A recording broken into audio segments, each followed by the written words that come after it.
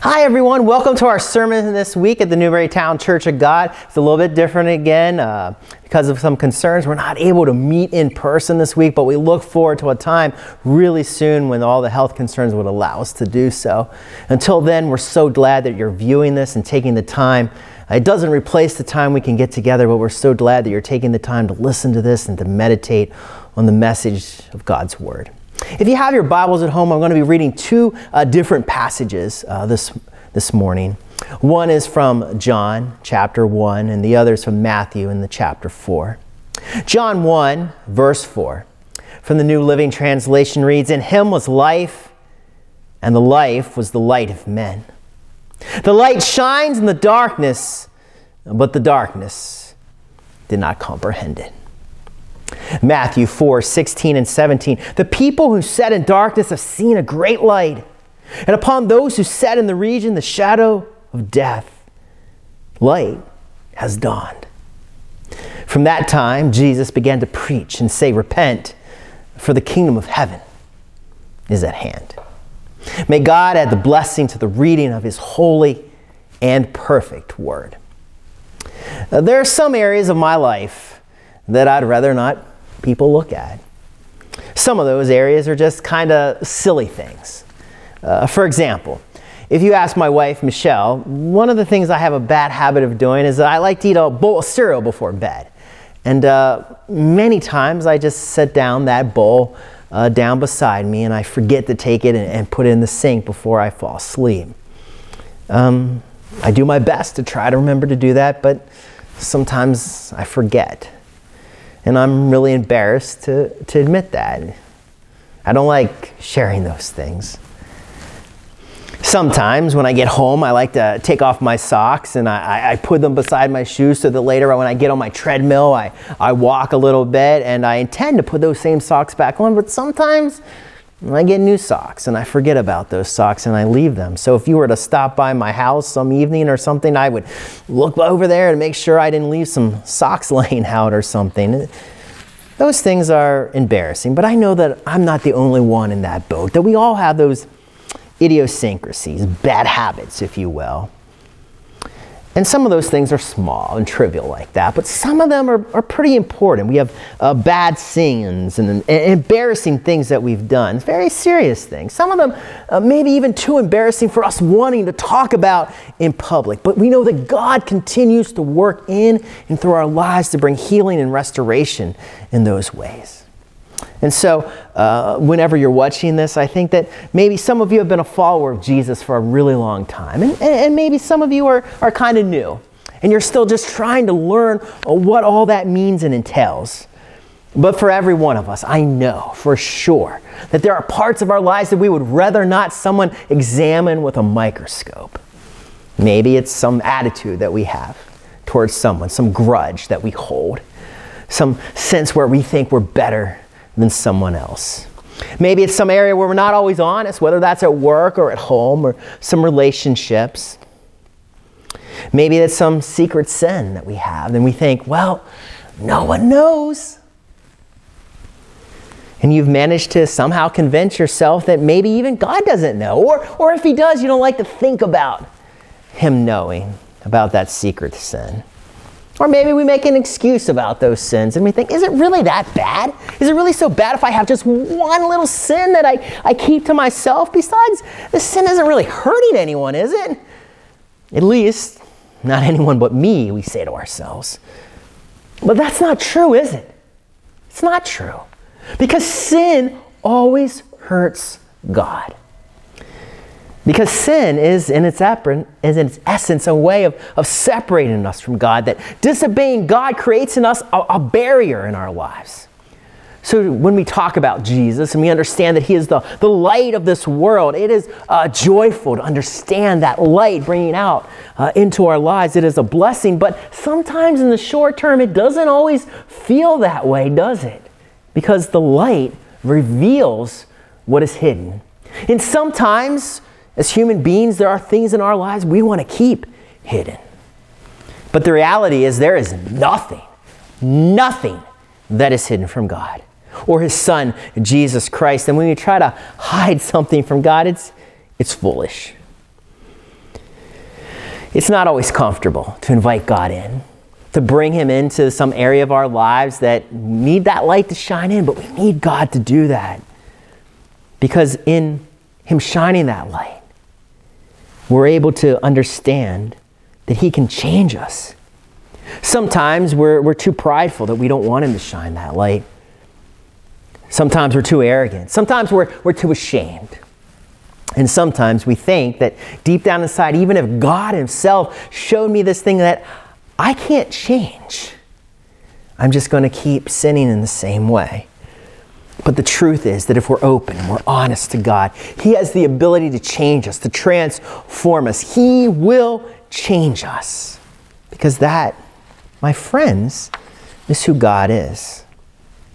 Sometimes when we, we look at Advent and we know that this is the season that we celebrate Jesus coming, we look at that broader context, we understand that it's a dark time and like we live in right now. I know many people have told me what a, a dark time it feels like we are living in with all of this viruses and uh, tension and just stress and panic and hurt and fear. But the time in which Jesus was born was a very dark time known as the, uh, the period in between the testaments, from that of the Old Testament to the New Testament, which lasted about 400 years. A period of time in which many scholars believe that God Himself had really stopped communicating with His people.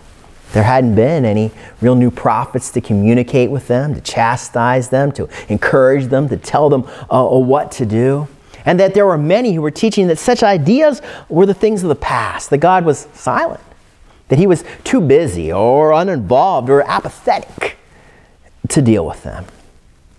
Add to that that the Romans moved in, maybe the most powerful and one of the crueler empires that the world had ever known. And they brought with them various levels of oppression. One of the worst is that when they had conquered uh, Jerusalem uh, slaughtering a pig in the temple, on the altar, on the Holy of Holies, desecrating and then feeding pork to the families and forcing them to eat it. And if they refused, they were executed, beginning with the youngest up to the oldest. How would we like to have lived in such a day as that? How it would have been so easy to question God. Why would God allow this? Why is this happening? I never thought I would live to see such a day as this, this day of evil. Many were hurting and unsure and, and confused about what the future would bring. But a group arose to fight the Romans called the, the Maccabees, and they regained control of Jerusalem. And that's actually why people worship at Hanukkah. It's the story that, that, that, that people celebrate.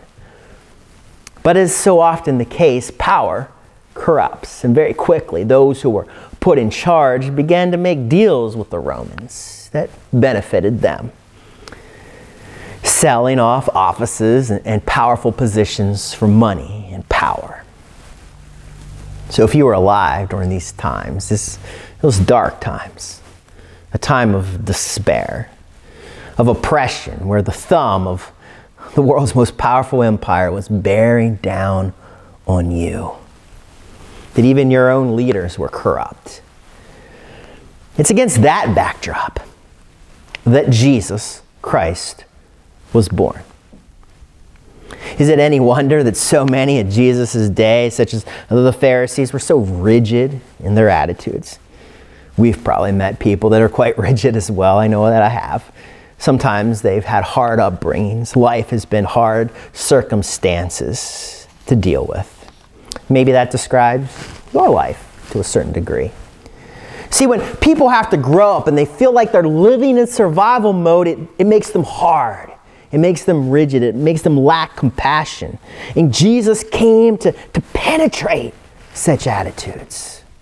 That's why in our passage here uh, in, in John, we're told that the darkness could not comprehend Jesus couldn't understand him. It was, it was a foreign idea. The darkness cannot understand the systems and ways of this world. It cannot comprehend the ways of God because it is beyond the ability of them to understand.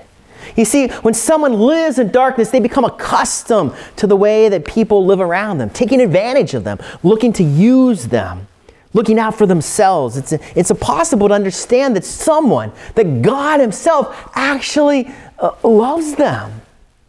Because they're always waiting for the other foot to drop. They're always waiting for the, for the catch.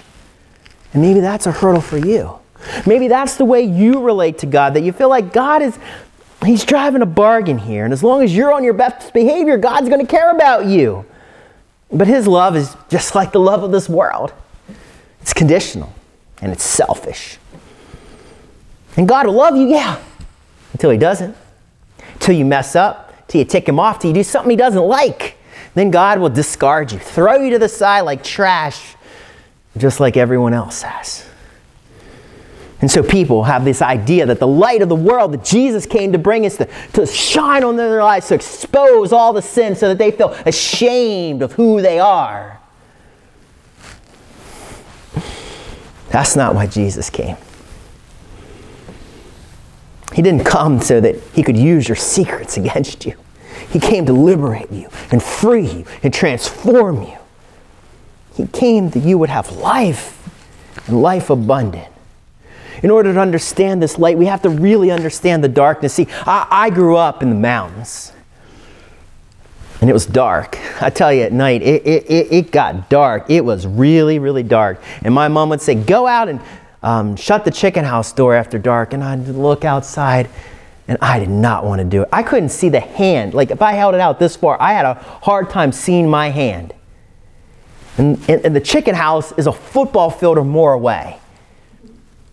And when you live in the mountains and nights, there are all kinds of weird sounds and snapping branches and stuff all around. I didn't like going out in the dark because I couldn't see very far.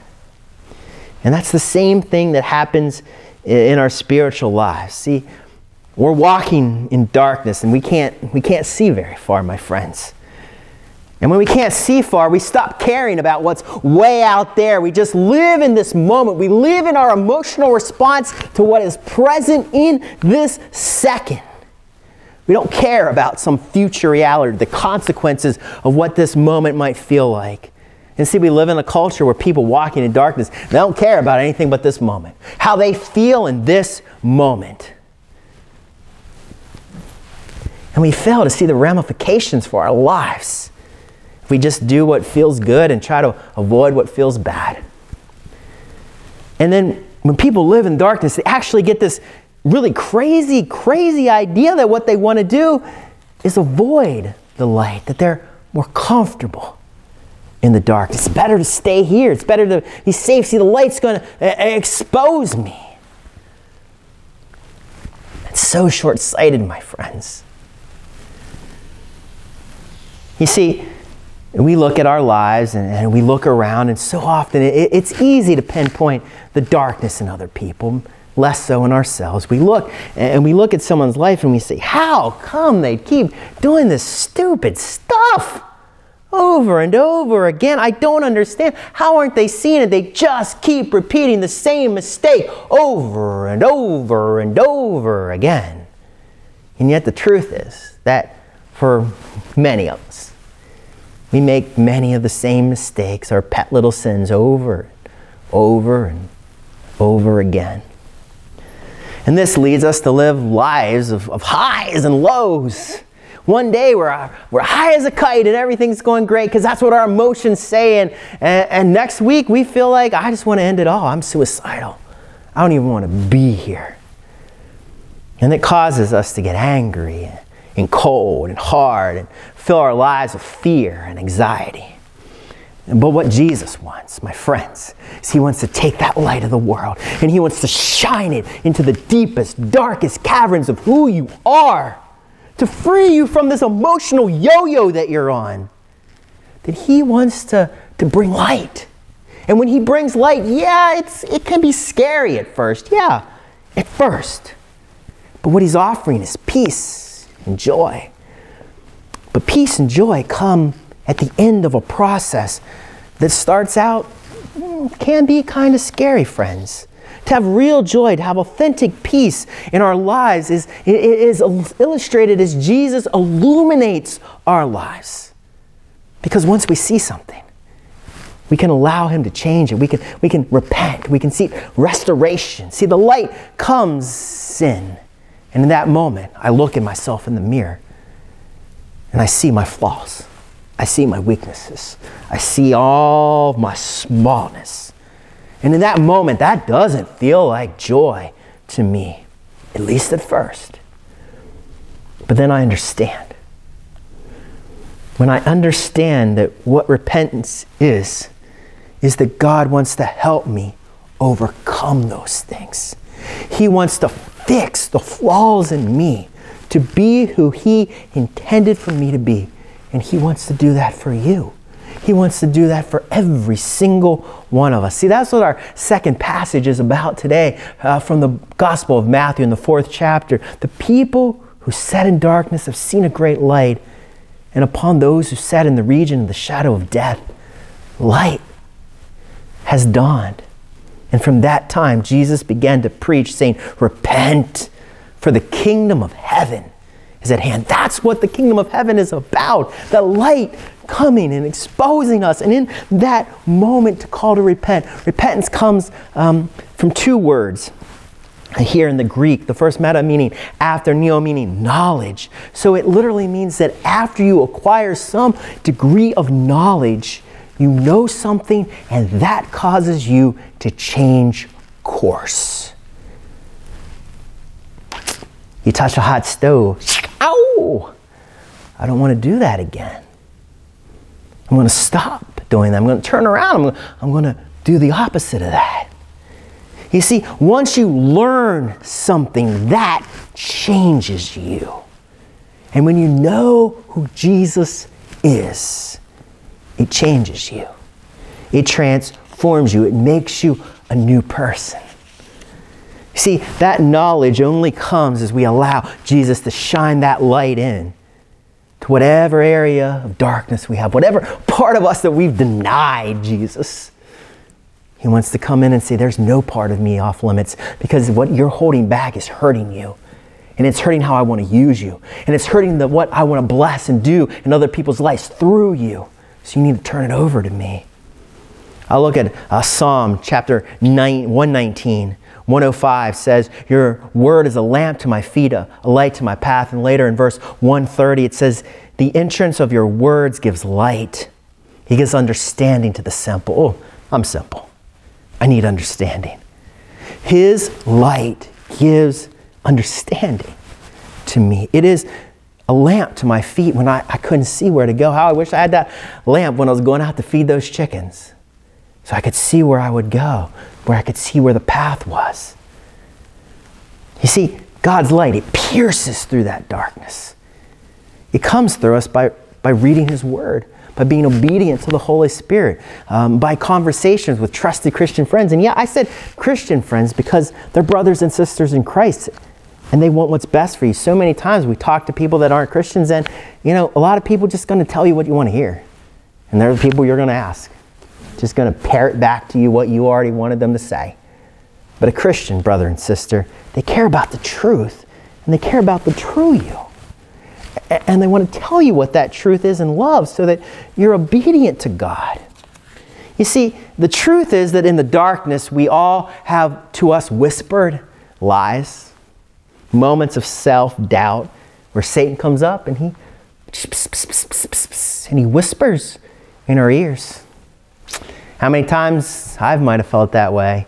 You know, you're going to get up and give a sermon and you think the old devil reaches in that bag of lies and why would you even talk about this topic?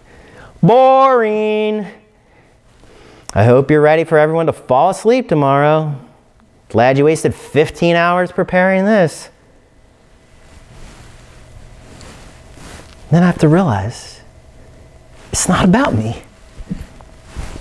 It's not about you either. It's about each one of us being obedient to do what God has asked us to do. Whatever He's laid on your heart, whatever He's directed you to do that. Do what God wants. And how other people are going to react is how they're going to react. And most of the time, it's a lie from Satan. You just obey God, and all the chips will lie as God would want. See, we all have those self doubts, but God helps us to overcome them. You see, that, that searchlight that he, he, he's bowing down isn't to, to find those sins so that he can just rub our face in it like a dog that made a mess on the carpet. No.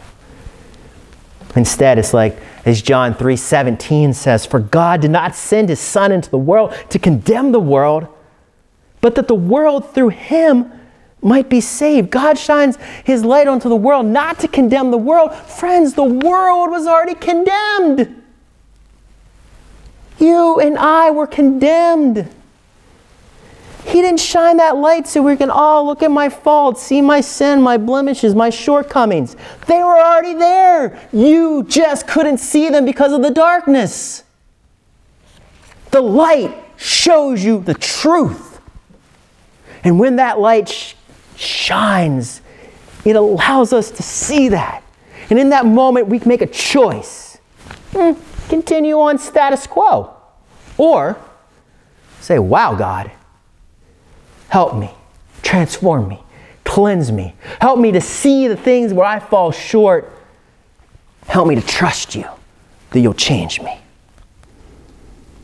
Allow the light of Christ into your life this Advent, this, this Christmas season. There should be no place of darkness in a Christian's life, no place where we don't let God examine us. Instead, help us to serve God. Let Him in. Let Him see every single aspect of who you are. You can't hide it from God, so stop trying. So, friends, today we can decide. Going to keep on doing the same thing I've always done. It's up to you.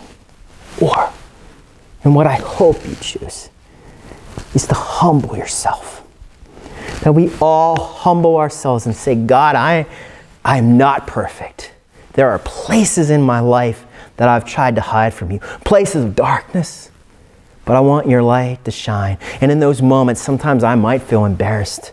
Sometimes I might feel afraid. Sometimes I might not want this to close. Sometimes, da da da da da, all these things. But